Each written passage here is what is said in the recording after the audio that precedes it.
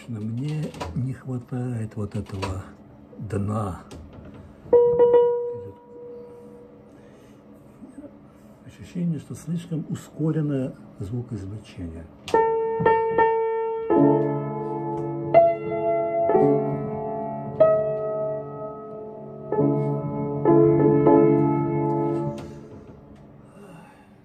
Здравствуйте, товарищи. Я сейчас работаю над пианино э, «Штапель». Это обердемпферное пианино. И я вам скажу так, она в достаточно неплохом состоянии.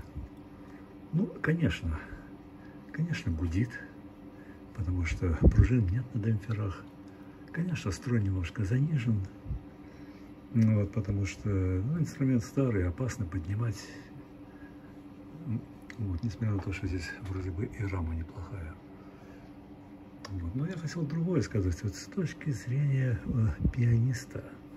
Вы понимаете, многие хвалят обердемпферное пианино, доказывая, что вот они вроде бы и старенькие, но вот если их неплохо отрегулировать, то они как бы что-то не заставят конкуренцию.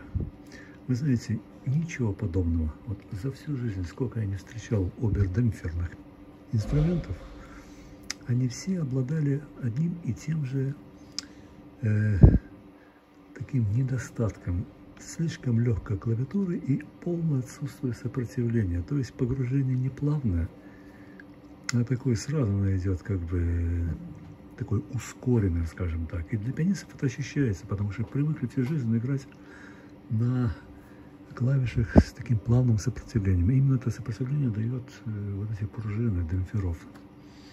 Ну, это понимаете, вот я вам сейчас немножко поиграю. Я просто лишний раз убеждаюсь, что ни одно пианино опернеферно меня не удовлетворяло с точки зрения прикосновения и приемов звукоизвлечения.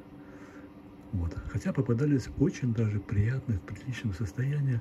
Ну, давайте я вам сейчас поиграю немножечко, и вы сами просто почувствуете, я вам покажу на конкретном примере.